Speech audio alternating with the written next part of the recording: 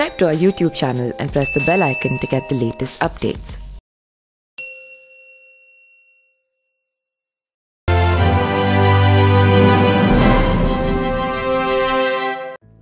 नमस्कार, मेरा नाम पिंटू सिंह यादव है और आप देखना शुरू कर चुके हैं न्यूज़ लाइव दोस्तों, एक समय जिस मुख्तार अंसारी को पूर्वांचल समेत पूरे देश में उत्तर प्रदेश में खास करके तूती बोलती थी, राज्य सरकारें भी जिनके सामने चुप रहती थी, वह मुख्तार अंसारी अब दुनिया में नहीं रहे।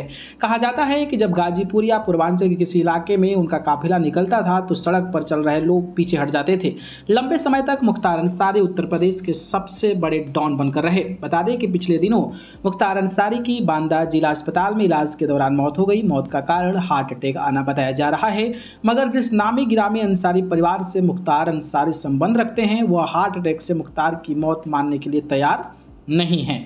बाहुबली मुख्तार अंसारी के भाई और गाजीपुर के सांसद अफजाल अंसारी समेत पूरे अंसारी परिवार का कहना है कि मुख्तार को जेल में जहर देकर मारा गया है। इस बीच अफजाल अंसारी ने अब एक बड़ा बयान देकर पूर्वांचल में सनसनी मचा दी है। जी हाँ उन्होंने कहा है कि अभी ये कहानी खत्म नहीं हुई है।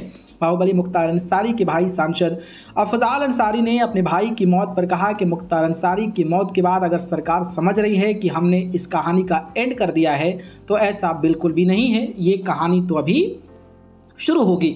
इसके बाद अफजाल अंसारी का एक बयान और चर्चा में आ गया। अफजाल अंसारी ने मुख्तार अंसारी की ताकत को भी शब्दों में बयां किया। उन्होंने कहा कि किसी की औकात कितनी होती है, उसकी पहचान उसकी आखिरी यात्रा से पता चल जाती है। मुख्तार अंसारी की अंतिम यात्रा में लोगों का हुजुम उमड़ा। इसे देखकर प्रशासन के अधिकारी भी दंग रह गए। प्रशासन ने पूरे पूर्वांचल में दहशत का माहौल बनाया था, मगर फिर भी आखिरी यात्रा में बड़ी भारी संख्या में लोग जुटे। 20 सालों तक हो सकती है मुख्तार के सौ की जाँच के अनुसार जाँच। अंसारी, इस दौरान अफजल अंसारी ने बड़ा ही अजीब दावा भी किया। उन्होंने कहा कि मुख्तार के सौ को खास तरह से दफनाया गया है। इससे आने वाले 20 सालों तक सौ की जाँच हो सकती है।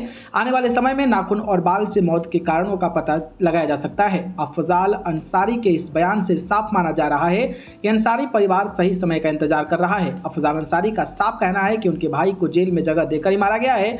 जहर देकर ही मारा गया है। पूरी योजना के तहत उनके भाई की हत्या की गई है। अब देखना होगा कि ये मामला आगे क्या जाकर रंग लेता है। बाकी आपको क्या लगता है इस मामले को लेकर जिस तरीके से लगातार अब फजाल अंसार इस तरीके की बातें कर रहे हैं, उस पर अपनी प्रतिक्रिया बताइएगा।